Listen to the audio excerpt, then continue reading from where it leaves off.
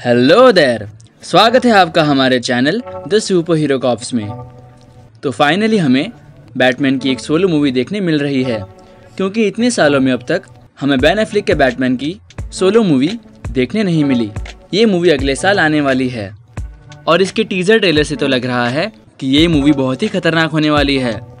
ये teaser trailer DC fandom के दौरान रिलीज़ किया गया था। और इसके साथ डीसी ने जस्टिस लीग के स्नाइडर कट का ट्रेलर भी रिलीज़ किया था। तो इस वीडियो के बाद हमारे वो वीडियो का ब्रेकडाउन भी ज़रूर देखें। सो लेट्स बिगेन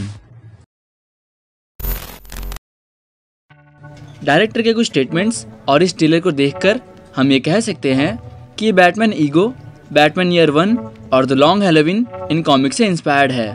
इस मूवी के डायरेक्टर मैट रीव्स ने कहा था कि इस मूवी में बैटमैन ईगो स्टोरी लाइन के कुछ एलिमेंट लिए जाएँगे। जिसमें बैटमैन की साइकोलॉजी पर फोकस किया जाएगा। यानी कि इसमें ब्रूस वेन का माइंडसेट और मोटिवेशन क्लियरली बताया जाएगा। और किस तरह वो अपनी दोनों पर्सनैलिटी मेंटेन कर रहा है। दूसरी कॉमिक है बैटमैन ईयर वन हालाँकि ये मूवी बैटमैन के ईयर टू में प्लेस लेगी। यानी कि इस मूवी में ब्रूस वेन को बैटमैन बने हुए सिर्फ़ दो साल हुए हैं। और इस वजह से उसका सूट भी पहले के बैटमैन जितना परफेक्ट नहीं है। दिखने में ये सूट बहुत ही बैडास लग रहा है। पर इसके डिज़ाइन को देखकर लग रहा है कि इसे कुछ चीज़ों को जोड़कर बनाया गया है। इस सूट का बैट सिंबल भी बहुत इंटरेस्टिंग है। ये एक थ्योरी है कि ये बैट सिंबल ब्रूस वेन उस गन को तोड़कर बनाता है, जिस गन से उसके पेरेंट्स मारे गए थे। और इस सूट में गॉटलेट्स भी है। ये गॉटलेट्स कॉमिक के टैलेंट नाम के कैरेक्टर से बहुत मिलते जुलते हैं। इस बैटमैन की बैट मोबिल बाइक और बैट केव तीनों भी पिछले बैटमैन जितने परफेक्ट नहीं हैं, क्योंकि ये अभी भी नया बैटमैन है। और ये मूवी सस्पेंसफुल और मिस्टीरियस होने वाली है, जिसमें फाइनली हमें बैटमैन की डिटेक्टिव साइड ज़्यादा देखने मिलेगी।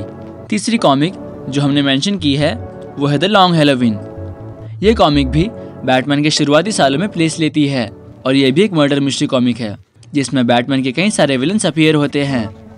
तो इस मूवी में भी शायद यही हो। ट्रेलर से हमें कुछ विलन्स तो दिखते ही हैं। पहला है रिडलर इस रिडलर के डिज़ाइन को कॉमिक एक्यूरेट से ज़्यादा रियलिस्टिक बनाया गया है। और ये एक रूमर भी है कि ये फायरफ्लाई नाम का एक विलन भी हो सकता है, जिसे रिडलर ने भेजा होगा। तो बाद में हम रिडलर का एक रिडल देखते हैं और इस रिडल के कवर पेज पर एक स्कल और एक आउल भी है। ये आउल द लॉन्ग हेलोविन या वॉचमैन का रेफरेंस हो सकता है। ये रिडल एक जोक है, जिसका मतलब है मरे हुए इंसान कभी झूठ नहीं बोल सकते। ये इस रिडल का रफ ट्रांसलेशन है। तो इन सब फुटेजेस और रिडल्स को देखकर लग रहा है कि रिडलर गौतम के करप्ट लोगों को एक एक कर कर मार रहा है। और वो बैटमैन को भी कहता है कि वो गौतम के करप्शन को इग्नोर कर रहा है। और वो ये भी कहता है कि बैटमैन उसके प्लान का एक बड़ा पार्ट होगा। इस मूवी में जेफरी राइट, जिम गॉर्डन का रोल प्ले करेंगे। और शुरुआत में ऐसा लग रहा है कि बैटमैन और पुलिस एक साथ काम करेंगी। पर बाद में एक सीन में हम देखते हैं कि बैटमैन कई सारे पुलिस ऑफिसर से लड़ रहा है। और एक ऑफिसर तो उस पर शूट भी करता है। तो शायद इसी सीन में बैटमैन पुलिस का करप्शन डिस्कवर करेगा। जिसके बारे में रिडलर उसे कह रहा था। और इस सीन में रिडलर एक फ्यूनरल में एक गाड़ी भेजता है, जिसमें एक ह्यूमन बॉम्ब है। और इस ह्यूमन बॉम्ब के ज़रिए वो बैटमैन को एक मैसेज देगा। पर इस फ्यूनरल में बैटमैन नहीं, बल्कि ब्रूस वेन है। तो इस वर्जन में शायद रिडलर ने बैटमैन की आइडेंटिटी को डिस्कवर कर लिया होगा। और ये सीन हमें फिर से देखने मिलता है, जब ब्रूस वैन बैटमैन बन जाता है। इस मूवी में बैटमैन का एक और विलन है, जो पेंगविन है, जिसका रोल प्ले करेंगे कॉलिन फेरल, ये अपने कैरेक्टर में पूरी तरह से उतर चुके हैं। इस मूवी में कैट वुमन को प्ले करेंगी जोई क्रेविड्स इस सीन में वो एक रॉबरी कर रही है, पर वो अपने परफेक्ट सूट में नहीं है। पर जोई ने कंफर्म किया है कि उसने कैट वुमन असली सूट शूटिंग के दौरान बहुत बार पहना है।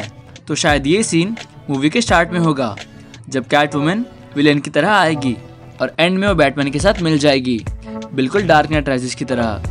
और इस मूवी में हमें नया एल्फ्रेड भी देखने मिलेगा, जिसे प्ले कर रहे हैं एंडी सर्किस और एमसीयू में इन्होंने क्लॉ का रोल भी प्ले किया है। फिर हम ये गैंग देखते हैं। इनके फेस मेकअप से हम ये अज्यूम कर सकते हैं कि ये जोकर के लोग हो सकते हैं। पर इस मूवी में कहीं भी जोकर को मेंशन नहीं किया गया है। तो ये लोग रिडलर के लोग हो सकते हैं। क्योंकि उसके रिडल में एक स्कल भी था, जो इन लोगों के मेकअप से मैच कर रहा है। तो ये लोग नॉर्मल स्ट्रीट गैंगस्टर्स भी हो सकते हैं। वो जो भी हो। पर बैटमैन उसे बहुत बैडास तरीके से मारता है। और ये मोमेंट पूरे टीजर ट्रेलर का सबसे हाईलाइटिंग मोमेंट था। इस सीन में वो कहता है कि आई एम वेंजेंस ये line Batman the animated series का एक पॉपुलर डायलॉग है। और ट्रेलर के एंड में रिडलर कहता है कि तुम भी इस सब का हिस्सा हो। तो इससे हमें ये पता चलता है कि इस मूवी में द डार्क नाइट जैसी वाइब्स होने वाली हैं। और हमारे हिसाब से ये वर्जन बेन एफ्लिक और क्रिश्चियन बेल दोनों का मिक्सचर होगा। क्योंकि इसके फाइटिंग मूव्स बेन एफ्लिक जितने खतरनाक दिखते हैं और इस मूवी का टोन क्रिश्चियन बेल के बैटमैन जैसा रियलिस्टिक लग रहा है। तो कमेंट करें कि आपको ये टीजर ट्रेलर कैसा लगा?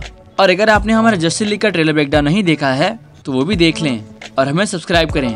This is Super Hero Cops and thanks for watching